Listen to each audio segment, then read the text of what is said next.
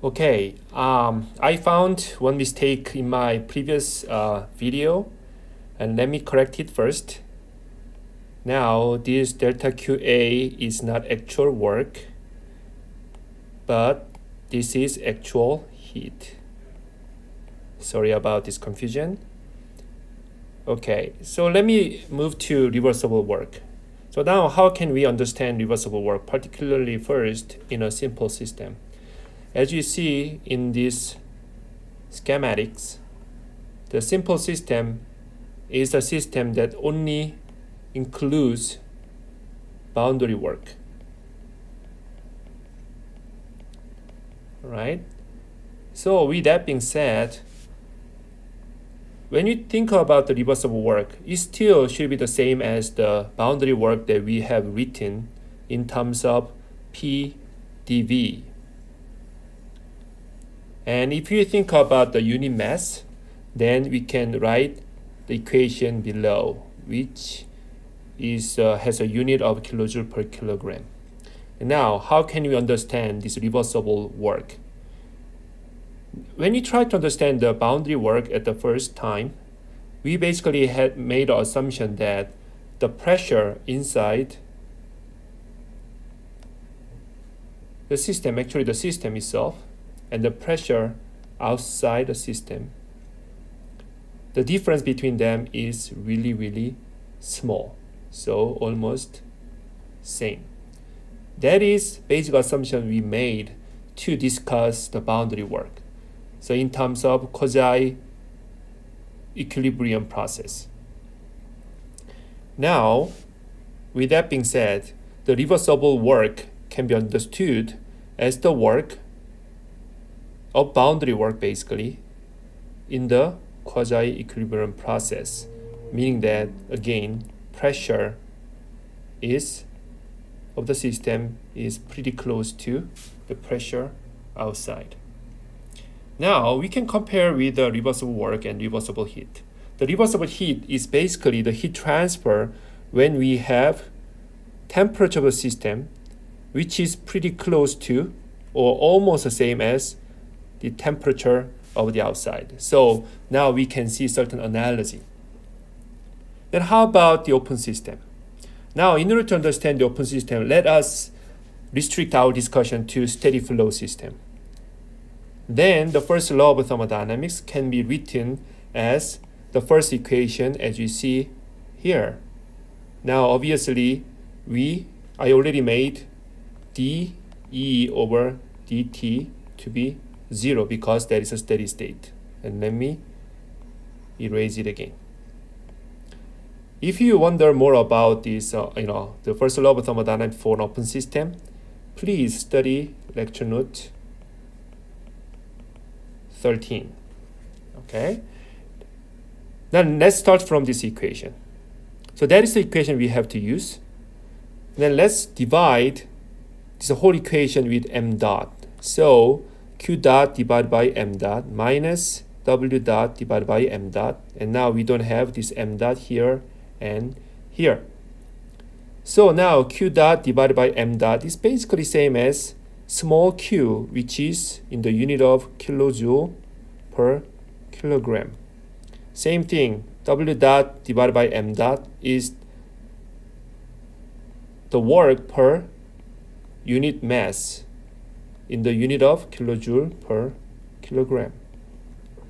So now we can rewrite the first of thermodynamics for an open system as you see in the second line. To make it simple, I mean look simple, let me define this Vi square over 2 as small ke subscript i. So that is basically the kinetic energy per unit mass. Likewise, we can define the Z, Zi as potential energy I per unit mass. Same way, we can define that as P, uh, sorry, KE sub E and GZE as PE sub E. Then now this equation becomes q minus small w plus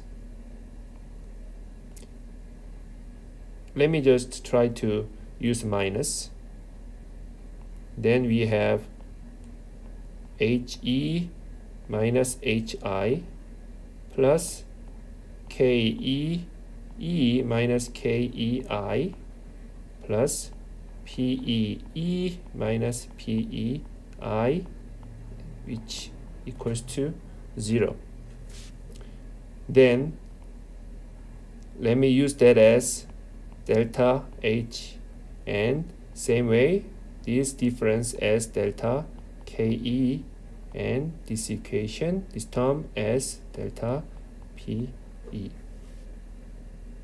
okay? So then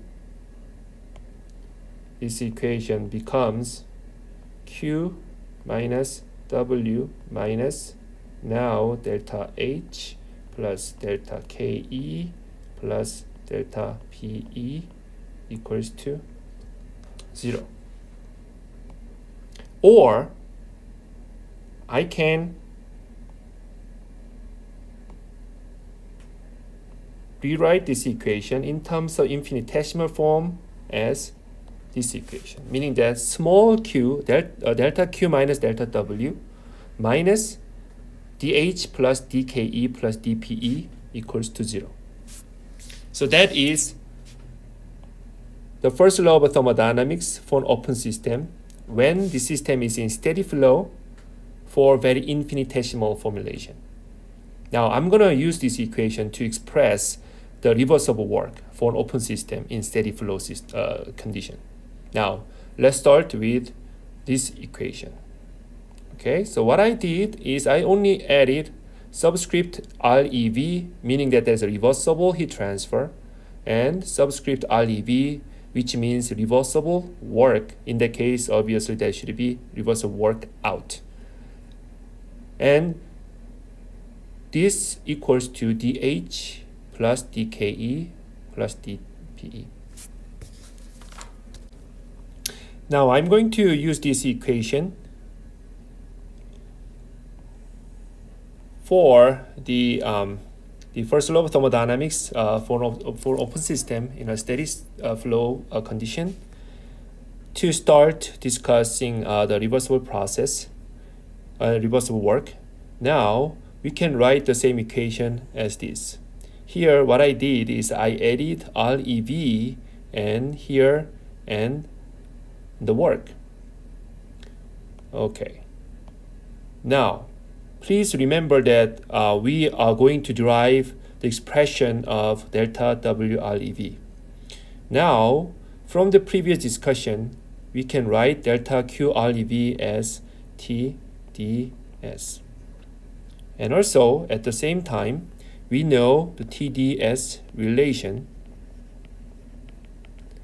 Okay, uh, we discussed this TDS relation in a previous lecture note. Uh, I believe that is uh, lecture note 16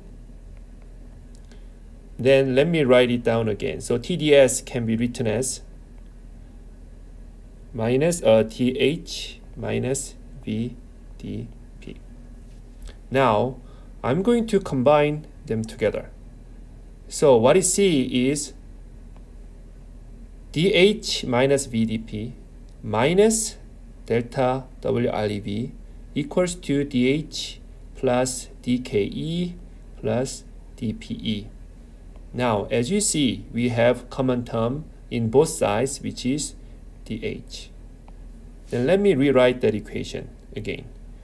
So, minus VDP minus delta WREV equals to dKe plus dPe.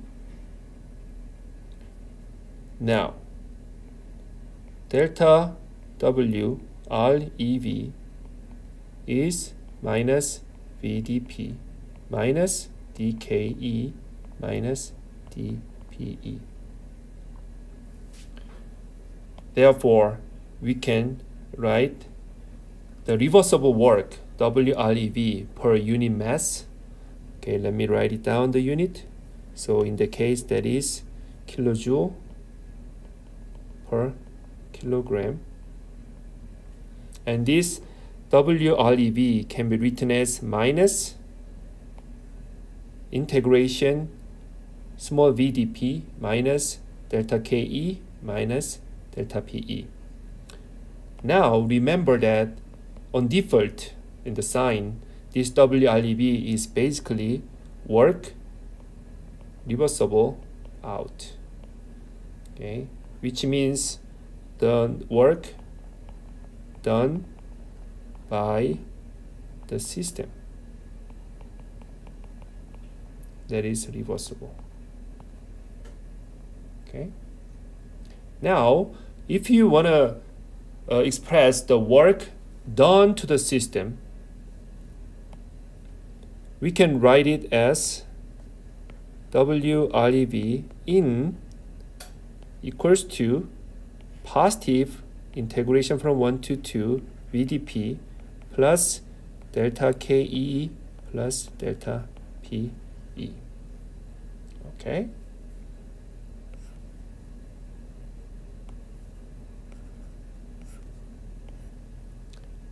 Many times we don't worry about change of kinetic energy and change of the potential energy. So if they are negligible, then we can simply write the reversible work out